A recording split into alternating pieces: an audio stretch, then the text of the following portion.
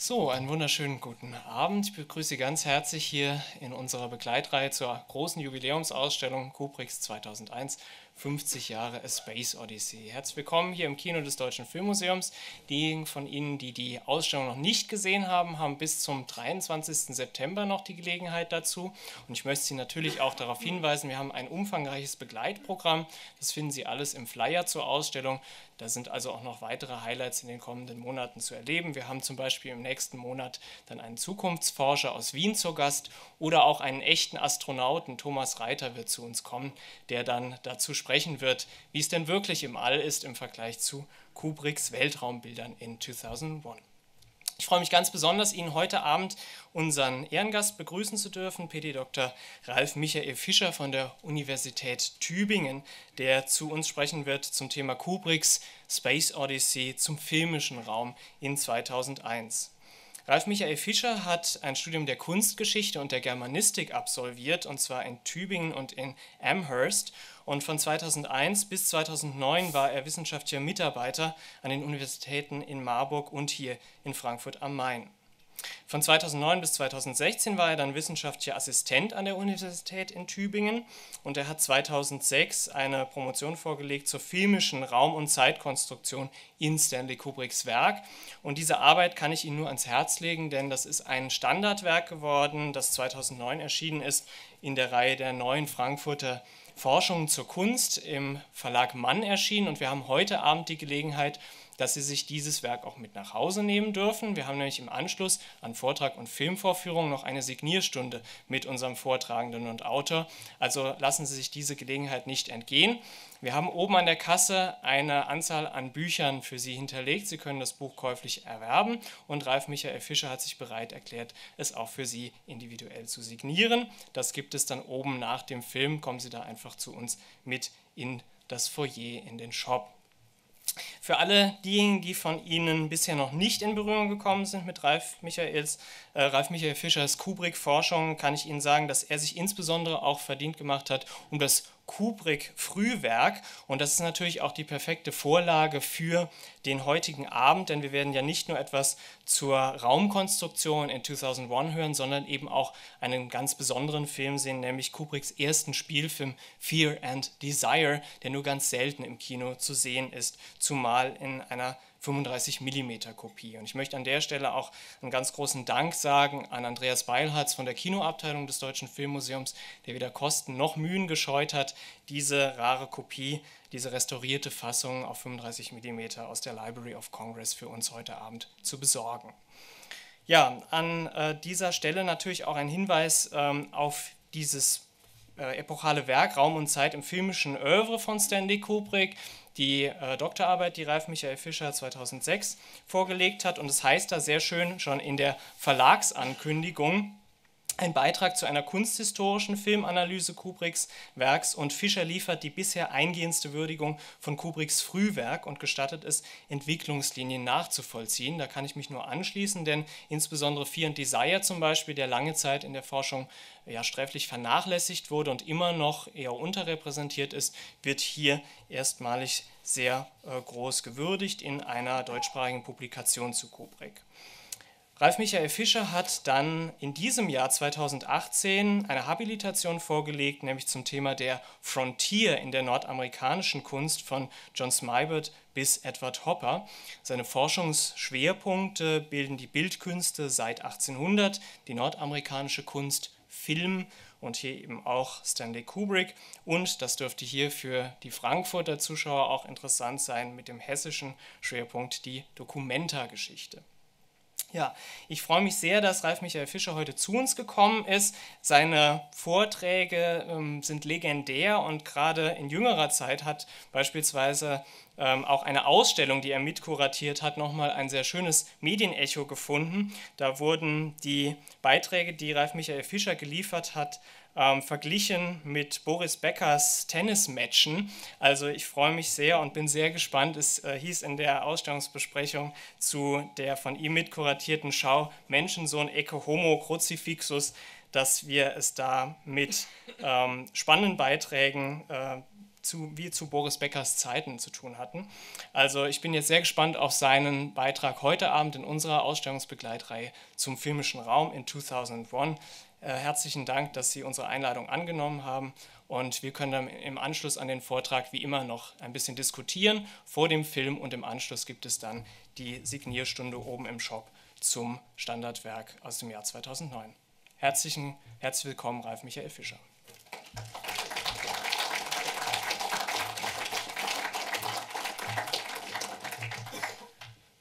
Ja, herzlichen Dank für die ja, überwältigende Einführung. Jetzt gerate ich regelrecht unter Leistungsdruck, legendäre Vorträge.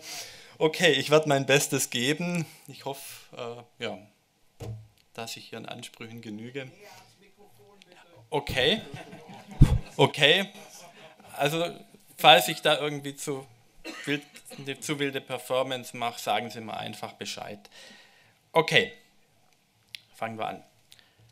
Stanley Kubricks 2001 A Space Odyssey gehört zu jenen Spielfilmen, in denen sich räumliche Aspekte besonders nachdrücklich ins Bewusstsein drängen. Das, bedeutet bereits das deutet bereits der Untertitel A Space Odyssey an, den man auch als eine Raumodyssee übersetzen könnte. Man muss nicht unbedingt das Wort Weltraum verwenden.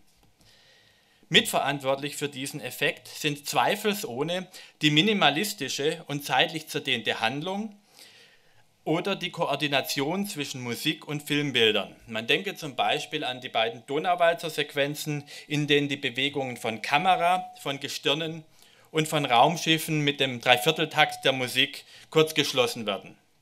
Zu den spektakulärsten Sequenzen gehört gegen Schluss der Flug durch das sogenannte Sternentor, hier auf der rechten Seite sehen Sie ein Bild, eine rasende Vorwärtsbewegung, die bei einer großen Kinoleinwand buchstäblich körperlich spürbar ist. Da spricht man auch von induzierter Bewegung oder von einem Achterbahneffekt. Und ich kenne auch Leute, die gesagt haben, ist, ihnen ist dabei regelrecht schlecht geworden. Also man wird dadurch regelrecht dann auch körperlich angesprochen.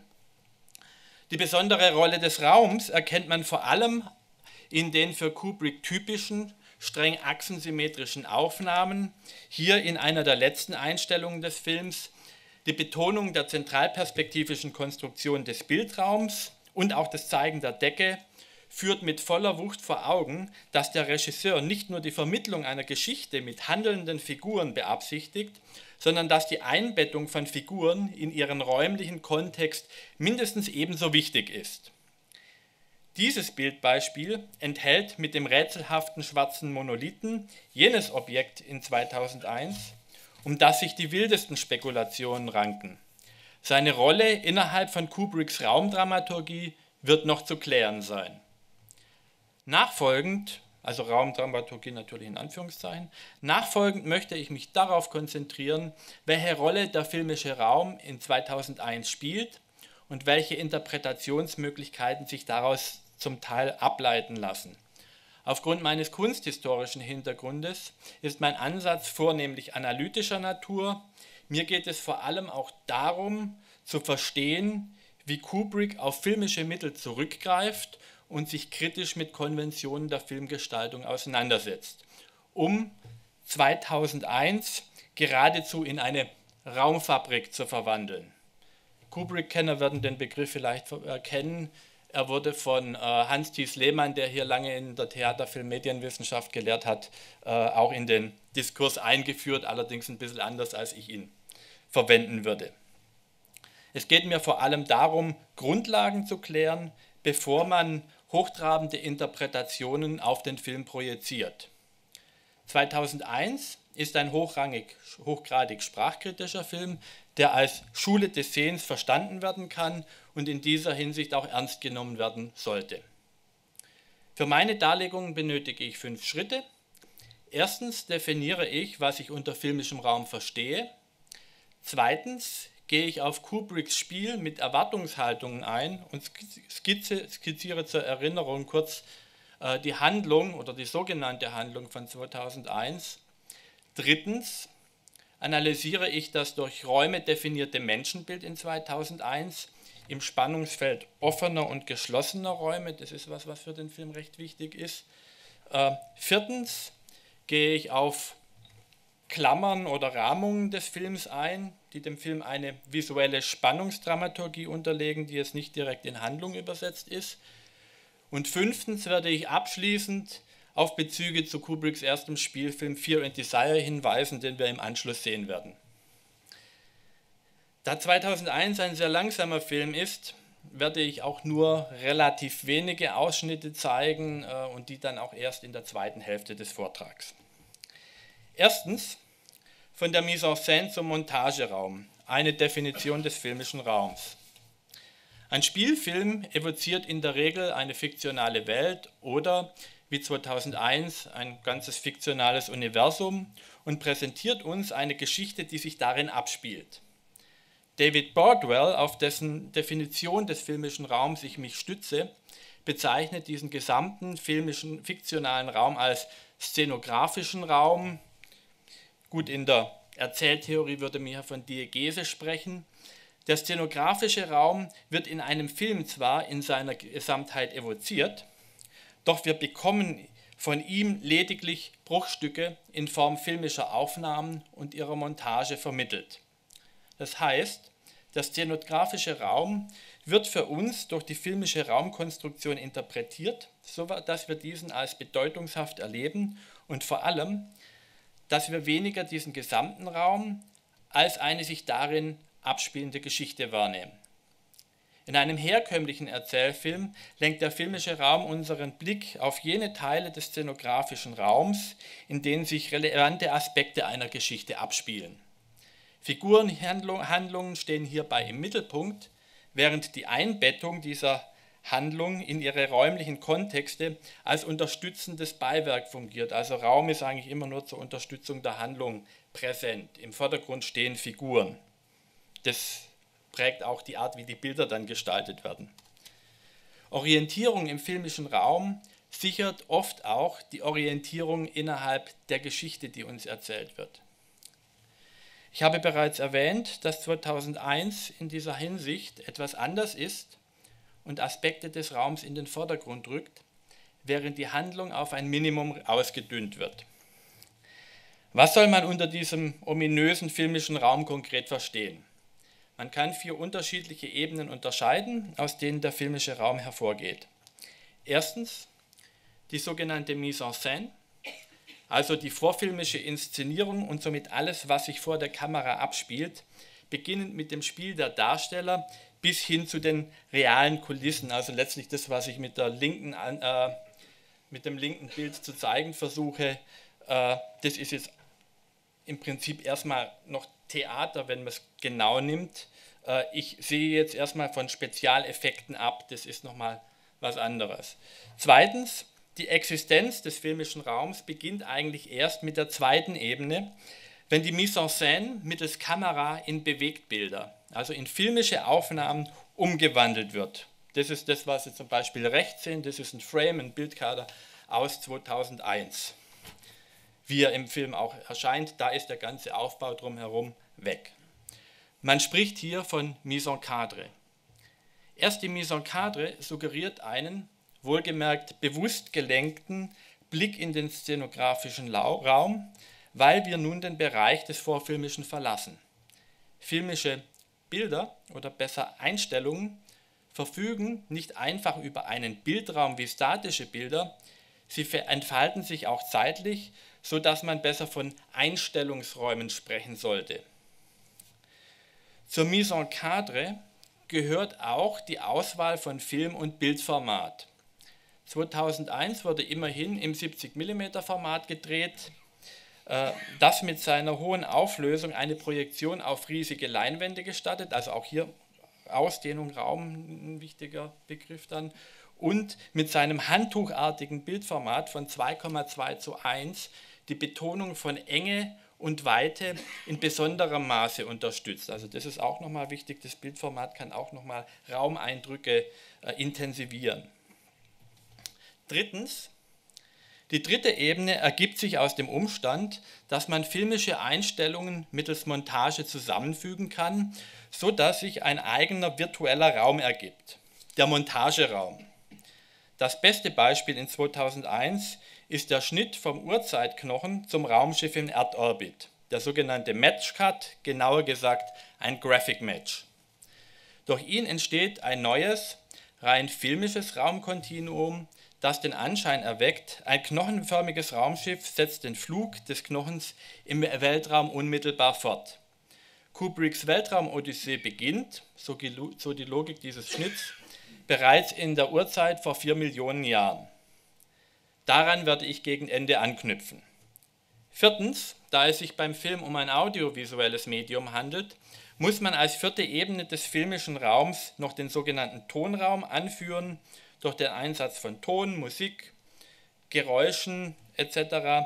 kann eben auch das Raumempfinden äh, oder die Raumwirkung äh, beeinflusst werden. Es ist, kein, es ist ein gravierender Unterschied, ob ich äh, ein Geräusch habe, dessen Quelle innerhalb des Bildes zu sehen ist oder innerhalb des Einstellungsraumes oder außerhalb. Genau. Das lasse ich jetzt weg. Nach diesem abstrakten Trockenschwimmerkurs über den filmischen Raum konzentriere ich mich auf ausgewählte Aspekte in 2001. Also jetzt gehe ich konkreter an den Film ran. Zweitens, Spiele mit den Erwartungshaltungen zur Handlung von 2001. Zu den, Errungen, zu den Eigenschaften von Stanley Kubricks Filmen, vor allem ab Lolita und mehr noch ab 2001, gehört das Spiel mit den Erwartungshaltungen des Publikums. Dass der Raum in 2001 hierbei eine wichtige Rolle spielen würde, ist bereits am inoffiziellen Arbeitstitel aus dem Jahr 1964 erkennbar, How the Solar System Was Won, also wie das Sonnensystem erobert wurde, eine Anspielung auf den Episodenwestern How the West Was Won von 1961, der die Erschließung und Besiedlung des sogenannten Wilden Westens behandelt. Also hier wären wir dann auch wieder bei meiner Habilitationsschrift äh, so nebenbei noch angelangt. Wie in anderen Science-Fiction-Filmen würde man hier eine Verlagerung der Besiedlungsgrenze Nordamerikas, die sogenannte Frontier, ins Weltall erwarten, dessen unerschlossene Weiten von der Menschheit unter großer Kraftanstrengung erobert und zivilisiert werden. Das klingt jetzt irgendwie wie der Vorspann von Star Trek, merke ich gerade. Dass die Menschheit durch US-Amerikaner repräsentiert wird, versteht sich von selbst. Auch die erste offizielle Pressemitteilung vom Februar 1965, in welcher der Film Journey Beyond the Stars heißt, bekräftigt diese Erwartung mit einer Formulierung, die es abgewandelt als Slogan auf die Filmplakate geschafft hat. Es sei an epic story of adventure and exploration. Und Sie sehen hier zwei der Plakate, äh, wo dann eben es noch pathetischer Drama statt Story heißt. Auch Robert McCalls dynamische Plakatmotive verheißen eher einen ungehinderten Vorstoß ins Weltall mit Menschen als heroischen Handlungsträgern. Ähm, also diese Plakate stehen allerdings, und das ist dann das Interessante, doch in einem gewissen Kontrast zur ästhetischen Umsetzung des Films, wenn Sie das einfach mal vergleichen, wie hier Geschwindigkeit auf der linken Seite zum Beispiel evoziert wird und wenn Sie das dann mit den Donauwalzer-Sequenzen dann äh, vergleichen. Erst der endgültige Titel Odyssee signalisiert, dass es sich auch um eine Irrfahrt handeln könnte, bei der die Astronauten nicht agieren, sondern dem Walten anderer Mächte willenlos ausgesetzt sind. Damit Sie meinen kommenden Erörterungen besser folgen können, rufe ich zentrale Momente von 2001 skizzenhaft in Erinnerung, ergänzt um interpretatorische Anmerkungen. Der Film besteht aus vier Episoden und kann verstanden werden als groß angelegter Geschichtsentwurf, der danach fragt, wie der heutige Mensch entstanden ist und wie er sich im kosmischen Kontext weiterentwickeln kann. Die erste Episode führt vier Millionen Jahre in die Vergangenheit. Urmenschen sind vom Aussterben bedroht und kämpfen gegeneinander um eine der wenigen Wasserstellen. Eines Tages taucht mitten unter ihnen ein schwarzer Quader, der Monolith, auf. Kurz darauf entdeckt einer der Urmenschen, dass man mit Knochen Tiere töten kann der Monolith ist, so legt es der Film nahe, der Auslöser dieser Idee. Die Ernährung und somit das Überleben der Spezies sind gesichert.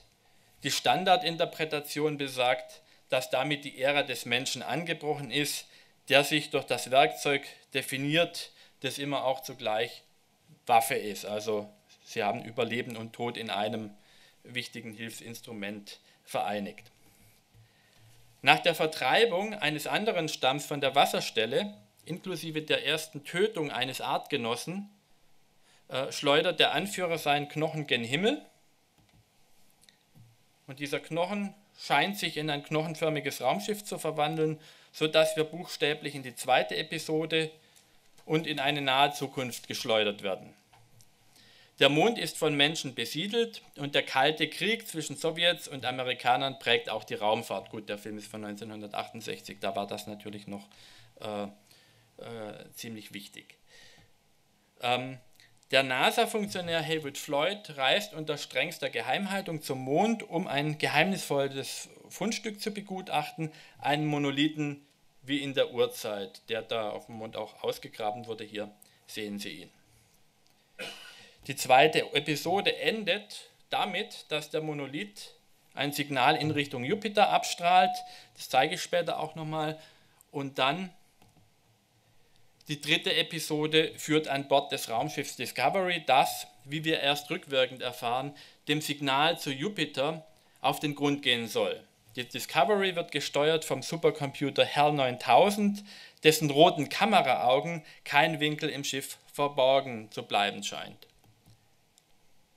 Als Hal in Verdacht gerät, einen Fehler begangen zu haben, erwägen die beiden Astronauten Bowman und Poole, ihn abzuschalten. Hal bekommt die Intrige mit und tötet Poole bei einem Außen Außeneinsatz. Bowman gelingt es schließlich, den Computer zu deaktivieren. Mit dem sentimentalen Liebeslied Daisy, im deutschen Hänschen klein, erstirbt Hals Stimme wie eine langsame werdende Schallplatte.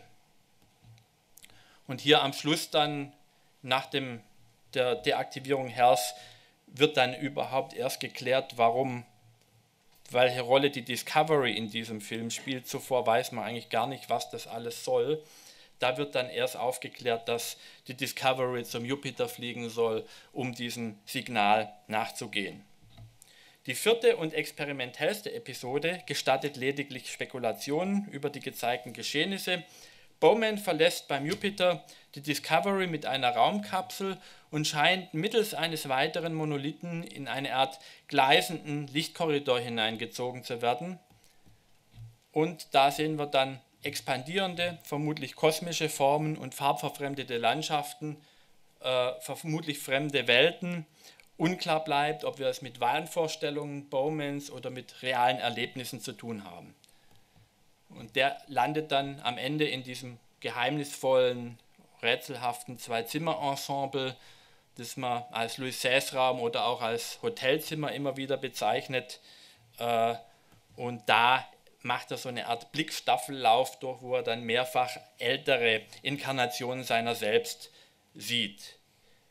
Äh, bis schließlich die älteste Stufe oder die älteste Inkarnation von David Bowman erneut mit einem plötzlich auftauchenden Monolithen äh, konfrontiert wird, woraufhin sich dieser uralte Bowman, worauf dieser plötzlich durch einen Fötus ersetzt wird, der dann nach einer Kamerafahrt durch den Monolithen äh, plötzlich sich im Erdorbit befindet, wobei da nicht so richtig klar wird, ist er wirklich kleiner oder ist er gleich groß wie die Erde. Also da sind vieles bleibt in diesem Film dann einfach unklar. Und in der letzten Einstellung des Films schaut der Fötus suchend in die Kamera und entlässt uns mit scheinbar fragenden Blicken aus dem Kino. Auch hier gibt es eine Standardinterpretation. Diese besagt, dass die Menschheit hier symbolisch einen weiteren Entwicklungssprung durchmacht.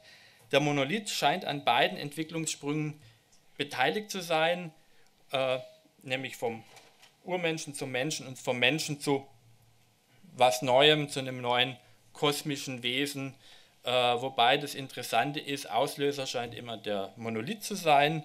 Menschen oder Urmenschen werden eher passiv dargestellt, sodass man eigentlich nicht so richtig weiß, sind die überhaupt in der Lage, sich eigenständig weiterzuentwickeln. Man hat den Eindruck, dass sowas wie Erlösung innerhalb des Films oder Erlösung laut diesem Film immer von außen kommen muss. Diese schlaglichterartige Zusammenfassung passt insofern zu 2001, Äh, insofern zum Film, als 2001 ein Ereignis an das nächste reiht, dabei oftmals äußerst lückenhaft bleibt und nur wenige Zusammenhänge wirklich klärt. Im Gegensatz zu einem herkömmlichen Film weiß man deshalb eigentlich selten, worauf der Film eigentlich hinausläuft. Also das, was einen normalen Film auszeichnet, dass man weiß am Anfang, das und das ist das Ziel des Protagonisten, das wird hier letztlich auch verweigert. Drittens, Menschen, Monolithen und Räume in 2001 zwischen Gefangenschaft und Raumöffnung. Meine Zusammenfassung der Handlung leistet eines gleichwohl nicht. Sie erfasst nicht die zahlreichen handlungslogisch irrelevanten Sequenzen mit banalen Alltagshandlungen oder gar ohne Menschen. Etwas das Planetenballett zum Donauwalzer. Infolgedessen wird der Film selbst zur Odyssee, weil man sich zwischen zahlreichen handlungsarmen und handlungsvorantreibenden Sequenzen erst zurechtfinden muss, um Zusammenhänge herzustellen. Letztlich sind einfachste Dinge interpretationsbedürftig, weil sie nicht erklärt werden. Vor allem selbst Banalstes, Alltägliches wird bedeutungshaft und drängt scheinbar zu allgemeingültigen Schlussfolgerungen über die menschliche Befindlichkeit. In, diese, in diesem Sinne sind meine nachfolgenden Schlussfolgerungen zu verstehen. Eine Funktion vieler vermeintlich irrelevanter Sequenzen ist es meines Erachtens, das Verhältnis der Menschen zu ihrer Umgebung auszuloten oder eigentlich auch zu interpretieren. Urmenschen oder Menschen werden in der Regel in Räumen verortet, die sich durch ihre Abgeschlossenheit nach außen definieren. Das gilt für die Urmenschen, die zum Überleben in, sich zum Überleben in Höhlen zurückziehen müssen, ebenso wie für die Zukunftsmenschen, die hermetisch abgeschottete Raumfahrzeuge benötigen, um nicht zu sterben. Dazu bedient sich Kubrick neben dem breiten Bildformat vor allem weiter Einstellungsgröße, welche die Räume betonen, in welchen sich die Figuren bewegen. Das sehen Sie hier mit zwei Beispielen aus der Urzeit und dann eben äh, aus der Donau-Walzer-Sequenz äh, Blick in eines der Raumschiffe. Bemerkenswert sind vor allem jene zum Teil ausufernden Einstellungsfolgen, in denen Kubrick die Menschen in ihren hochtechnisierten, selbstgeschaffenen Umgebungen zeigt, vor allem rechts. Berühmt ist die Einstellung mit der Stewardess, welche buchstäblich die Wände hochgeht, bis sie auf dem Kopf steht. Kubrick demonstriert hier schon fast überdeutlich, dass man im Weltraum nicht mehr naiv von oben oder unten sprechen kann. Unter Bedingungen der Schwerelosigkeit herrschen andere Gesetze und an Bord von Raumschiffen können theoretisch alle Wände zum Gehen benutzt werden, wenn man die entsprechende Ausrüstung hat.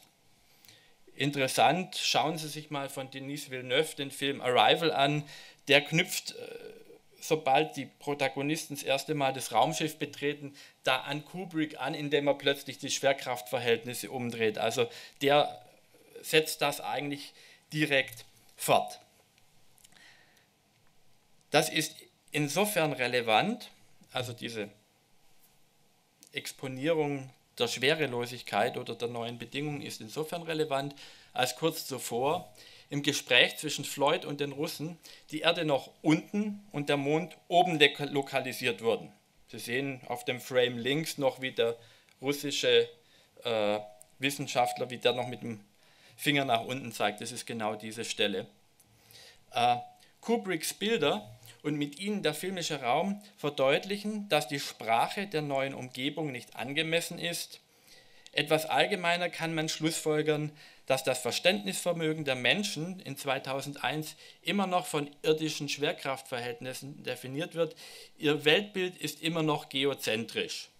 Eine mentale Anpassung an die Gesetzmäßigkeit des Weltraums hat noch nicht wirklich stattgefunden.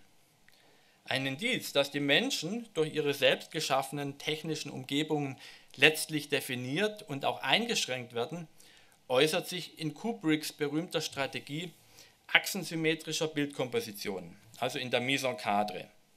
Aufgrund ihrer Auffälligkeit werden solche strengen Kompositionen wie rechts, welche überdies die Fluchtlinien und die zentralperspektivische Konstruktion betonen, normalerweise vermieden. Sie lenken die Aufmerksamkeit nämlich ab von Figurenhandlungen hin zur Bildkomposition. In, das ist eigentlich, also die sollen normalerweise vermieden werden.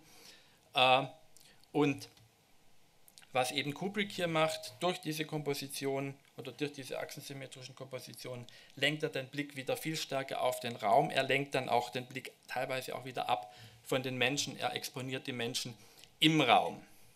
Was ebenfalls nicht übersehen werden sollte, wenn Kubrick seine Figuren ins Zentrum solcher Kompositionen setzt, dann wirken sie alles andere als raumbeherrschend. Vielmehr wirken sie auf unbehagliche Weise eingehängt, geradezu bedrängt von ihren selbst geschaffenen Räumen, gar wie Fremdkörper. Zu Ende gedacht präsentiert Kubrick den Menschen als entthrontes Zentrum seiner selbst geschaffenen Umwelten, von denen er komplett abhängig und zugleich entfremdet ist. Kubricks Menschen müssen sich zwar geradezu in käfigartige Räume zurückziehen, um zu überleben, zugleich scheinen sie nicht in der Lage zu sein, eigenständig über den Horizont hinauszuschauen, mit dem sie sich umgeben. Kubrick führt eine Menschheit mit eingeschränkter Erkenntnisfähigkeit vor Augen, die vor allem angesichts des Neuen und Fremden versagt. Also räumliche Begrenztheit bei Kubrick heißt immer auch sowas wie Erkenntnisgrenzen oder auch etwas krasser ausgedrückt geistige Begrenzung. Ein Höhepunkt dieser Entwicklung zeichnet sich in der Discovery ab, bereits die einleitende Sequenz, also oder die erste Sequenz äh, der Discovery, Discovery-Episode äh, mit, äh, mit banalem Astronautenjogging unterläuft jegliche Erwartung eines äh, heroischen Vorstoßes ins All. Man wird eigentlich mit dem banalen Alltag von Astronauten letztlich konfrontiert. Äh, ich zeige Ihnen jetzt einen Ausschnitt. Schauen Sie mal ganz genau hin, ob Sie die, ob Sie die Anschlussfehler falls es welche sind, entdecken können. Der Astronaut Poole joggt im Wohnbereich des Raumschiffs, der als Zentrifuge gestaltet wurde, um künstlich Schwerkraft zu erzeugen. Ein Umstand, der im Film mit keinem einzigen Wort erklärt wird, sondern visuell erschlossen werden muss. Im Gegensatz zur Erde ist hier das Oben innen und das Außen unten. Das Ende der Sequenz besteht aus achsensymmetrischen Verfolgungs- und Rückwärtsfahrten, das was ich gerade gezeigt habe, die den Astronauten in der Bildmitte geradezu arretieren, während seine Umgebung viel aktiver wirkt. Er scheint trotz seiner Mühen in diesem hamsterradartigen Raum auf der Stelle zu treten und ist gefangen in einer Dynamik des Stillstands. Diesen Eindruck verstärkt, eventuell unterschwellig, eine Deformation des szenografischen Raums durch den filmischen Raum. Ähm, wenn Sie das genau angeschaut haben, also es gibt bestimmte Merkmale, wo man das erkennen kann. Der läuft eigentlich jedes Mal in eine andere Richtung. Also äh, er wechselt die Richtung hin und her. Äh, äh, also das sind letztlich Anschlussfehler, das kann auch technisch bedingt sein, aber ich kann, könnte mir vorstellen, dass das äh, unter Umständen auch diese, äh, diesen Eindruck des Nicht-Vorankommens nochmal auf ein, sagen wir mal, unterschwellig dann irgendwie mit äh, erzeugt. Das ist so ein Hin- und Herlaufen letztlich, was da, äh, was da geschieht. Nur wie gesagt, das nimmt man nicht bewusst wahr. Da muss man den Film wirklich schon sehr genau sehen, um das, äh, um das herauszufinden. Man kann dieses scheinbare Treten auf der Stelle durchaus als Sinnbild für den Zustand der Menschheit verstehen, die nicht vom Platz kommt, während ihre Hervorbringungen, vor allem die künstliche Intelligenz Herr 9000, mit ihr scheinbar gleichziehen und ihre Existenz bedrohen. Rechts sehen Sie den Abschluss der Sequenz, als Bowman die Zentrifuge betritt. Wir sehen ihn zunächst als rotierende Spiegelung im Auge Herrs, hat man im Ausschnitt noch gesehen, im Auge Herrs, wie Pool gefangen in einem Kreis, dem er nicht entkommen kann. Der Vorstoß in den Raum bedeutet für den Menschen weniger Evolution als Stagnation oder gar Regression. Nur Herr mit seinen, seinen omnipräsenten Linsen scheint den gesamten Raum der Discovery zu überschauen und somit und damit zu beherrschen. Das Motiv des Kreisens, was, hier, was ich hier auch vorgeführt habe, das beherrscht vor allem die Episoden 2 und 3 des Films. Also es kommt ganz häufig vor, dass Menschen sich irgendwie in Kreisbewegungen befinden oder damit assoziiert werden. äh, und darin wie Gefangene wirken. Also das ist nur ein Ausschnitt von vielen anderen Motiven, äh, die da mit verwandt sind, was ich hier gezeigt habe. Gerade hier ist nochmal auf die Spannung zwischen stenografischem Raum und filmischem Raum hinzuweisen. Links sehen Sie eine Blaupause, welche die Raumfolge der Discovery zeigt. Also rechts hier, das, dieser große Zylinder ist zum Beispiel die Zentrifuge. Eine Rekonstruktion dieser Gegebenheiten anhand des Films, also anhand der filmischen Raumkonstruktion, ist nur schwerlich möglich. Auf diese Weise wirkt auch das Raumschiff wie ein Irrgarten. Die Astronauten bewegen sich darin zwar fast wie im Schlaf, doch sie scheinen sich ihrer irritierenden Umgebung nicht bewusst zu sein. Und wir als Zuschauer sind gezwungen, uns ebenfalls ständig neu in einem Mikrokosmos zu orientieren, der auf der Blaupause zumindest mal relativ überschaubar wirkt. Geschlossene Räume sind in 2001 ergo zwar assoziierbar mit Schutz, aber auch mit Gefangenschaft, Passivität und mangelnder Entwicklungs- und Erkenntnisfähigkeit. Ein Rückzug in geschlossene Räume erscheint deshalb ebenso bedrohlich wie der Vorstoß in offene Räume. Interessant ist dabei, dass Kubrick durch die Wiederkehr achsensymmetrischer Einstellungskompositionen auch über den ganzen Film hinweg, also im Montageraum, für eine Verähnlichung unterschiedlicher Räume sorgt, wie Sie sie hier haben, als ob sich Menschen immer wieder in gleichartigen Räumen bewegen und nicht vom Fleck kommen. Nebenbei wird der Montageraum durch diese Wiederholung gleicher Kompositionsprinzipien rhythmisiert und durch solche Déjà-vus werden plötzlich Verbindungen nahegelegt, die das bisweilen parataktische, lose Nacheinander von Einstellungen, Sequenzen und Episoden verweigert. Bislang habe ich auf den Bereich geschlossener Räume und ihre habe ich mich auf den Bereich geschlossener Räume und ihre Bedeutung konzentriert und insbesondere die Monolithenerscheinungen ausgespart. Man kann sie als intergalaktische Lehrmaschinen verstehen, wie es Arthur C. Clarke in seiner Romanfassung von 2001 tut, wobei da würde ich davon abraten, die unbedingt äh, als zu sehr als Interpretationshilfe heranzuziehen, weil Roman und Film dann doch irgendwann mal eine etwas unterschiedliche Richtung genommen haben. In einer raumbezogenen Interpretation kommt man weiter, wenn man die Funktion des Monolithen genauer unter die Lupe nimmt. Hierfür zeige ich hintereinander Ausschnitte der zwei ersten Monolithenerscheinungen in der Urzeit und auf dem Mond. Gut, hier wäre natürlich auch der Tonraum nochmal eine interessante Sache mit diesen starken Pfeifen.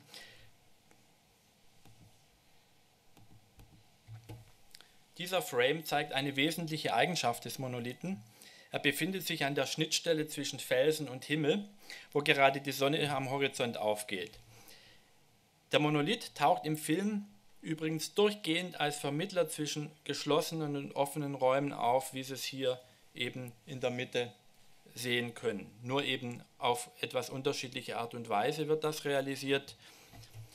Äh, das, was Sie soeben gesehen haben, die Ausschnitte, in einer der distanzreichsten, in einem der distanzreichsten Gegenschüsse der Filmgeschichte, so Thomas Allen Nelson, weist der Monolith den Urmenschen den Weg in Richtung Mond. Hier, das kann man so quasi sagen, die Fluchtlinien führen eigentlich direkt auf den Mond. Auf dem Mond weist er einerseits zum Jupiter durch das Pfeifsignal und, äh, und gleichzeitig auf das Endziel äh, oder das endgültige Ziel der Odyssee, das dann äh, kommen wird, nämlich die Erde, die dann auch wieder so zum Zielpunkt der Fluchtlinien äh, des Monolithen wird. Beides Mal ist der Monolith Bestandteil von Konjunktionen, die durch einen unmöglichen Zeitsprung herbeigeführt werden. Einmal ist die Sonne und dann die Erde relativ dicht über dem Horizont, um urplötzlich im Zenit zu stehen. Diese beiden Einstellungen, also was hier Kubrick immer wieder macht, er wird ja immer als Perfektionist beschrieben, aber äh, bei ihm ist es auch so, wenn es ihm in Kram passt, dann nimmt er äh, Anschlussfehler in Kauf, dann nimmt er Diskontinuitäten in Kauf. Ähm, die Frage ist, ob das zum Teil auch Methode haben könnte. Darüber kann man sich, glaube ich, trefflich streiten, aber es ist nicht so, dass er sozusagen da auch überall alles so macht, wie man es dann äh, normalerweise in einem Mainstream-Film immer gerne hätte. Also wie gesagt, er nimmt auch da durchaus Konventionsbrüche in Kauf. Äh, diese beiden Einstellungen jetzt, die ich Ihnen hier als Frames zeige, bilden auch einen inneren Rahmen zur Gliederung des Films. Auch der dritte Monolith in der Nähe Jupiters ist Bestandteil einer Konjunktion, worauf sich über ihm der unendlich wirkende und, und sinnesüberwältigende Korridor öffnet. Also hier auch nochmal ein Hinweis auf die Romanfassung, da heißt immer, Bowman fliegt in den Monolithen rein, das tut er nicht. Äh, dieser Lichtteppich oder diese Lichtteppiche, die sich da öffnen, das ist oberhalb von diesem Monolithen. Äh, und im absolut hermetischen und deshalb umso unheimlicheren Zwei-Zimmer-Ensemble, in dem Bowman mehrfach plötzlich jeweils eine ältere Inkarnation seiner selbst sieht, bevor er sich in einen Fötus verwandelt, erscheint der Monolith als einziger Ausweg. Er wird nun selbst zu einer Art Tor, das zurückführt ins Erdorbit. Also was ihr rechts sehen, da fährt dann die Kamera auch drauf zu, bis die Leinwand schwarz wird. Dabei muss man sich immer vor Augen halten, dass Kubrick mit der experimentalfilmartigen Schlussepisode eine klare, logische Verbalisierbarkeit bewusst verweigern möchte. Ausgehend von der Sprachkritik, die er zuvor bereits durch die Kontrastierung von Sprache und Bildern vermittelt hat, ist das, was hier geschieht, zum Teil nicht mehr begrifflich zu fassen. Äh, auch Begriffe der Filmanalyse äh, versagen hier teilweise. Also wenn Sie versuchen wollen, da am Schluss das mit Einstellungsgrößen zu beschreiben, das ist, äh, da merken Sie dann plötzlich, wo auch das Ende äh, einer filmanalytischen Beschreibbarkeit ist. Deshalb existieren dann auch solche Hilfsbegriffe wie Sternentor oder Hotelzimmer. Man kann nicht einmal mehr sagen, ob es sich um reale Ereignisse handelt, was Kubrick uns da zeigt, oder um Wahnvorstellungen von David Bowman. Gesetzt den Fall, es handelt sich um reale Ereignisse, was ich jetzt einfach unterstelle, zieht Kubrick hier eine Konsequenz aus den Fehler, Fehlern vieler anderer Science-Fiction-Autoren und Regisseure. Anstatt das Fremde und Unerklärliche in den Bereich der Erklärbarkeit hereinzuholen, verweigert er Erklärungen, um auch das Publikum mit der Problematik zu konfrontieren, dass zum Beispiel eine Begegnung mit Außerirdischen höchstwahrscheinlich eine Begegnung mit dem radikal Fremden ist, die das menschliche Fassungsvermögen übersteigt. Damit konfrontiert er auch uns mit dem Gefühl einer beschränkten Erkenntnisfähigkeit, das er eben bei seinen Figuren problematisiert. Feststellbar ist allerdings in den allerletzten Einstellungen, dass mit dem Fötus erstmals ein Wesen menschlicher Herkunft in eine Art Konjunktion mit Planeten tritt und auch in einem offenen Raum auftritt. Zuvor gab es dieses Zusammenspiel nur zwischen Gestirnen und dem Monolithen oder Gestirnen und Raumschiffen. Am prominentesten im nahezu abstrakten Weltraumballett der Donauwalzer-Sequenzen. Eine Evolution des Menschen scheint, so die Nahelegung der Raumdramaturgie, nur durch den Wechsel zwischen geschlossenen und offenen Räumen möglich, zwischen denen der Film permanent hin und her pendelt. Damit komme ich zu einer Klammer, die den ganzen Film zusammenhält und die ich jetzt als äh, Zusammenschnitt vorführe. Viertens, zweimal auf und ab, zwei assoziative Rahmungen von 2001. Also das war jetzt eigentlich der Zusammenschnitt von Anfang und Ende, teilweise noch ein bisschen äh, gekürzt, äh, ohne die zweieinhalb Stunden, die es dazwischen gibt. In beiden Fällen haben also das war quasi Kubrick Shortcut. Äh, in beiden Fällen haben wir eine besondere Konstellation im Weltraum. Der Aufwärtsbewegung der Kamera zu Beginn antwortet eine Abwärtsbewegung am Ende, die beim rätselhaften Astralfötus endet war ursprünglich die Sonne der Endpunkt der Bewegung, so ist nun ein Wesen menschlicher Herkunft eben ein Endpunkt einer Kamerabewegung. Ob die Auf- und Abwärtsbewegung positive oder negative Bedeutungen innehat, muss dabei allerdings jeder für sich selbst entscheiden. Da wurde auch schon drüber diskutiert.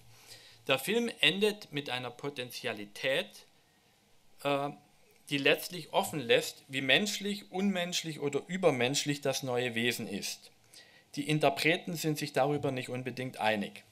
Eine optimistische Deutung unterstützt der Umstand, dass erstmals ein Wesen menschlicher Herkunft mit seiner Umgebung harmoniert. Es gibt auch Deutungen, die sagen, der Schluss ist negativ zu werten, weil das kein menschliches Wesen mehr ist. Also über solche Dinge wird da recht viel diskutiert. Stimmt, das brauchen wir auch noch. Wie Sie inzwischen bemerkt haben, gehört für mich zur Analyse des Montageraums nicht nur gehören für mich zur Analyse des Montageraums nicht nur direkt aufeinanderfolgende Einstellungen, sondern auch die Zusammenschau von Einstellungen, die über den Film verteilt sind.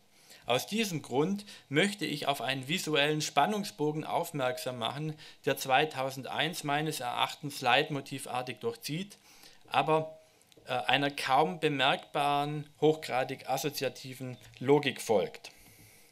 Sein Ausgangspunkt ist der berühmte Graphic Match, von dem wir bereits gehört haben und durch den ein Urzeitknochen mit einem Raumschiff optisch kurzgeschlossen wird.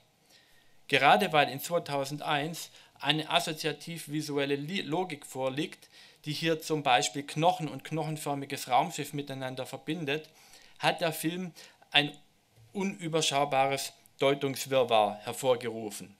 Gut, statt dass man dann das Narrativ analysiert, könnte man, denke ich, ist es auch mal interessant, den Film äh, oder viele schauen dann eben darauf, wie man diesen Film narrativ inter, äh, interpretiert.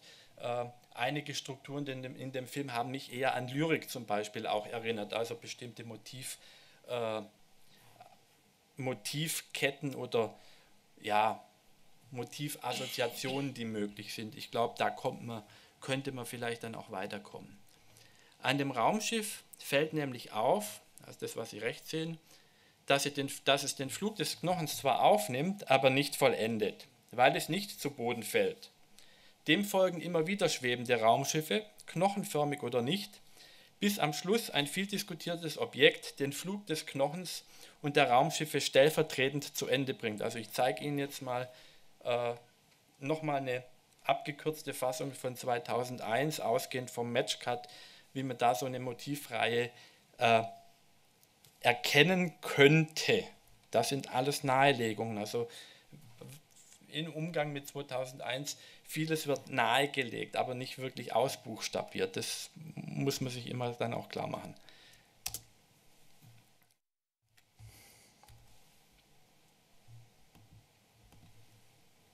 Also was ich hier gezeigt habe, war so eine Reihe von schwebenden, knochenförmigen Raumschiffen, bis das dann schließlich fortgesetzt wird äh, durch dieses knochenförmige oder im weiteren Sinne knochenförmige Kristallglas am Schluss, äh, das eigentlich handlungslogisch vollständig unmotiviert daherkommt, aber innerhalb des Films, innerhalb des filmischen Raums, also wenn man diese Folge sieht, äh, Sinn ergibt, wenn man es als ab, ab, äh, assoziativen Abschluss dieses durch den Film sich hindurchziehenden Knochenfluge sieht. Was sich dazwischen abspielt durch die schwebenden knochenförmigen Raumschiffe und sogar dann auch einen Kugelschreiber, ist als assoziative Weiterführung des suspendierten Knochenflugs deutbar. Ich zeige hier jetzt nochmal eine Kurzfassung dessen, worum es mir geht.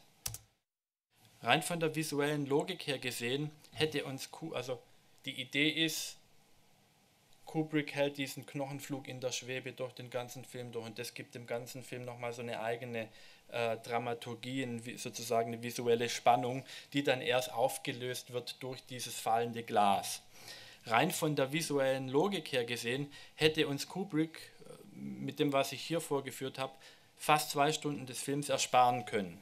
Was sich zwischen diesen beiden Absp Einstellungen abspielt, ist eine visuelle Grundspannung, die die ganze Zeit hindurch unterschwellig präsent ist, aus meiner Sicht aber einen Grundkonflikt im Film widerspiegelt. Die Entdeckung des Knochens als Werkzeug und Waffe sichert das Überleben der Spezies, doch die Menschheit macht sich von ihren Werkzeugen so abhängig, auch im Denken, dass ihr eine Weiterentwicklung verwehrt bleibt. Im Gegensatz zum Werkzeug, das eine rapide Evolution durchmacht bis hin zu Herr, der sich gegen seine Schöpfer wendet und im symbolischen Duell überwunden werden muss. Deshalb ist es nicht verwunderlich, dass Herr mit seinen Linsen und die Discovery nicht voneinander zu trennen sind und einen künstlichen, käfigartigen Lebensraum für die Menschen bereitstellen, in denen diese eigentlich wie Fremdkörper wirken. Erst mit dem zerspringenden Kristallglas kommt das eigentlich schon seit vier Millionen überfällige Ende der Ära des Werkzeugs und der Waffe, das hier äh, zu Ende, das hier interessanterweise wie was Beiläufiges inszeniert wird. Also in dieser visuellen Spannung, die den Film trägt, wird eigentlich ein Zustand visualisiert oder vermittelt oder der Menschheit vermittelt, der längst überwunden hätte werden können oder müssen. Und wie gesagt, es läuft eben auf einer rein visuellen Ebene, das wird nicht wirklich als Handlung ausagiert. Fünftens, zum Abschluss. Ausblickender Rückblick 2001 und Fear and Desire. Als mir angeboten wurde, einen kurzen Kubrick-Film zum Vortrag vorzuschlagen, fiel meine Wahl äh, sofort auf seinen ersten Spielfilm Fear and Desire, der 1953, also 15 Jahre vor 2001, in die Kinos kam und danach fast vollständig in der Versenkung verschwand. Ich hatte vor allem zwei Gründe. Erstens, mein, trotz meiner langen Beschäftigung mit Kubrick habe ich den Film noch nie im Kino gesehen. Also für meine Dista hatte ich so eine, nennen wir es mal, impressionistische Kopie des Films, die ich durch einen missglückten Ebay-Deal gekriegt habe mit irgendjemandem in Kanada. Äh, zweitens lag es mir am Herzen, eine Lücke der großen Kubrick-Ausstellung zu schließen, die hier 2004 im Filmmuseum ihren Ausgang genommen hat. Es gab zwar Exponate zu Fear and Desire, aber im begleitenden Filmprogramm war eben Fear and Desire nicht zu sehen und das hat mich doch ein bisschen gefuchst. Ähm, gut, dass der nicht gezeigt wurde, hat natürlich auch damit zu tun, Kubrick hat den Film rückwirkend so als früh pubertäres Jugendwerk dann auch aus dem Verkehr ziehen wollen. Ähm, und damit hat er natürlich die Neugier noch mehr geschürt. Und wie gesagt, also für mich gehört er dann einfach auch äh, zum Werk von Kubrick. Äh, man sollte nicht unbedingt versuchen, jetzt in so einem frühen Film schon in jedem kleinsten Detail irgendwelche Vorwegnahmen der späteren äh, Kubrick-Filme dann herauszupopeln. Das ist auch so ein bisschen so eine Gefahr äh, in der Kubrick-Forschung. Dennoch, ein bisschen popeln muss ich trotzdem, dennoch, äh, dennoch hat man den Eindruck, dass Kubrick in Fear and Desire, im Gegensatz zu seinen späteren Filmen, seinen Bildern noch nicht getraut hat und deshalb vieles verbal aus, ausbuchstabiert hat, was in den späteren Filmen lediglich unterschwellig und auch nur visuell in Bildern oftmals dann auch vieldeutig aufscheint. Äh, da Fear and Desire von einer Soldatengruppe handelt, die aus Feindesland entkommen will, würde sich Full Metal Jacket vermutlich besser als Vergleichsbeispiel anbieten. Doch auch in 2001 oder zu 2001 lassen sich Bezüge herstellen. Und zwar, obwohl Fear and Desire viel stärker handlungsorientiert ist und auch obwohl äh, die Gestaltung des filmischen Raums sich auf die Figuren konzentriert, also insofern ganz anders aufgebaut ist, als es jetzt bei 2001 der Fall ist oder auch bei den späteren Kubrick-Filmen. Ähm, was Sie hier auch nicht finden werden, das ist das, was ich Ihnen hier in Länge vorgeführt habe, diese achsensymmetrischen Bildkompositionen, diese strengen Blicke in Kastenräume, äh, die tauchen wirklich erst konsequent ab 2001 in seinem Övre auf. Im Frühwerk bis zu Dr. Strangelove können Sie sowas vereinzelt finden, das haben Sie hier sicher nicht. Was man aber finden kann, ist, dass Kubrick hier äh, durchaus versucht, mit Montagesequenzen dann auch ähm, eine eigene Note in den Schnitt des Films reinzubringen, also eine eigene Filmsprache, die irgendwie auffällt, äh, unterzubringen. Ähm, was diesen Film auch auszeichnet und was auch typisch ist für das Frühwerk, er arbeitet mit alternierenden Montagen, also er springt immer zwischen verschiedenen Handlungen hin und her. Das ist was, was eigentlich auch die Filme bis zu Dr. Strangelove, also vor 2001 auszeichnet, das was ich als Frühwerk bezeichne. Danach kommt das in der Form nicht mehr vor, dass er so stark mit Gleichzeitigkeitsstrukturen arbeitet. Äh, was beide Filme ein, 2001 und Fear and Desire, ist das Moment des Irrens durch unbekanntes Terrain, wobei das Ziel in 2001 bis zum Schluss unbekannt bleibt, während die Protagonisten von Fear and Desire aktiv in ihre Heimat zurück wollen. David Bowmans Begegnung mit seinen, mit seinen älteren Ichs kann man gegebenenfalls auch als Konfrontation mit dem Selbst oder im Hinblick auf Selbsterkenntnis deuten. Das ist was, was in 2001 am Schluss kommt. In Fear and Desire spielen Doppelgänger in feindlichen Lagern eine vergleichbare Rolle. Also Doppelgängermotivik ist was, was auch hier eine Rolle spielt, was Kubricks Werk immer wieder durchzieht. Äh, zu den zentralen Szenen von Fear and Desire gehört, wie ich finde, die Zurückverweisung des Satzes No man is an island, also kein Mensch ist eine Insel, durch den Protagonisten, als er über die menschliche Befindlichkeit sinniert. Also er zitiert da den englischen Dichter John Donne.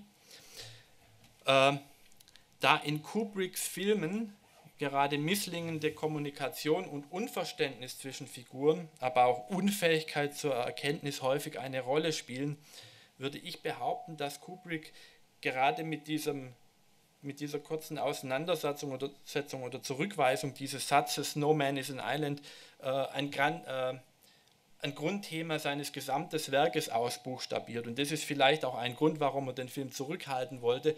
Er hat da einige Dinge wirklich ausgesprochen gesagt, die in seinen späteren Filmen dann eben immer nur so implizit aufgeschieden sind. Und er wollte halt nicht, dass das eben äh, unbedingt wahrgenommen wird. Also das ist eine Möglichkeit, wie man das interpretieren kann. Aber das ist natürlich auch ein sehr weites Feld und ich will Ihnen auch den Spaß am, am Film jetzt nicht verderben, weil ich den gern auch nochmal endlich mal selber im Kino sehen will. Äh, vielen Dank.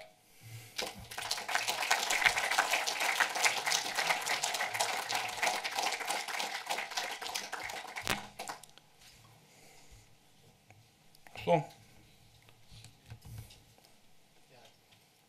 Ganz herzlichen Dank, äh, Ralf Michael Fischer, für diesen ähm, schönen Vortrag mit vielen Anregungen, wie wir jetzt 2001 auch nochmal lesen können im Hinblick auf die Raumkonstruktion. Wir haben jetzt noch ein bisschen Zeit, um über das gerade Gesehene und Gehörte zu diskutieren. Gibt es schon Fragen von Ihrer Seite aus?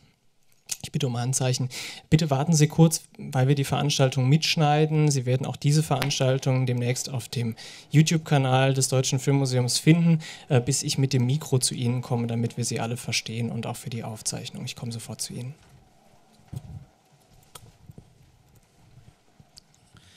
Is it okay to speak in English?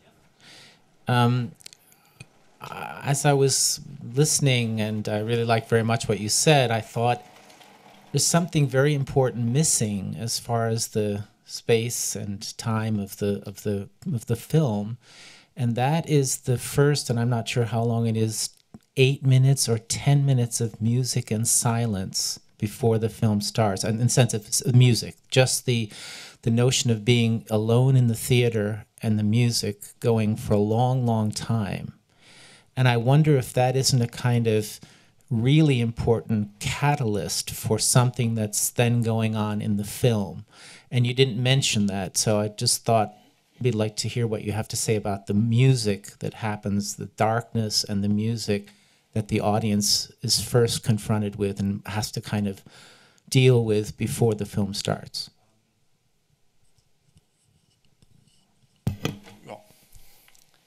Um, there is one simple reason why I didn't uh, mention the first 10 minutes with music. Uh, it is a practice of 17, 70 millimeter cinema to present um, black leader or black film with music before the film actually begins. Uh, I also didn't mention the intermission of the film this is a similar phenomenon. Uh, you have black film and music. It's just uh, it's just for a break. So it's more cinema practice. It doesn't belong to the story of the film or to the real film. Uh, uh this uh, beginning and the intermission uh, were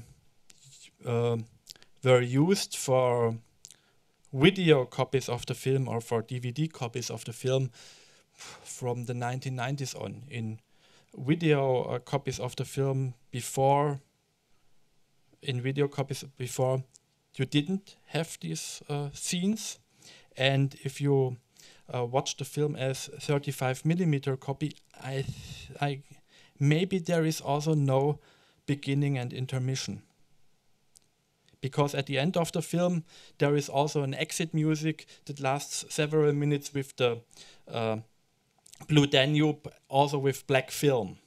So it's a practice of uh, a, cer a, certain practice of cinema. okay, are there okay. other further questions, comments, Fragen, Anmerkungen? Ich komme zu Ihnen.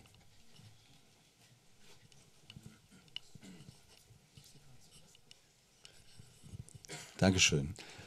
Ähm, Sie haben sich sehr analytisch verhalten, haben Sie ja auch angekündigt und äh, trotzdem klang an einigen Stellen so ein bisschen so ein Ansatz von einer Filmkritik heraus oder es schien mir zumindest so, weil Sie ein bisschen provokativ vielleicht auch davon sprachen, ja, das ist jetzt mal ganz kurz zusammengefasst, dann gibt es noch zwei Stunden, die dazwischen ablaufen.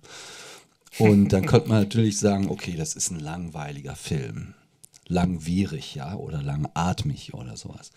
Aber der Gedanke, meine ich, der sich hier auch ähm, aufdrängt, ist, diesen Punkt muss man nicht unbedingt äh, verlieren, wenn man es vielleicht auch mit anderen Filmen wie Solaris oder sowas vergleichen will, der auch zeitnah, glaube ich, entstanden ist. Ja. Aber gleichzeitig geht es ja hier auch um eine Verschränkung der Begriffe Raum und Zeit.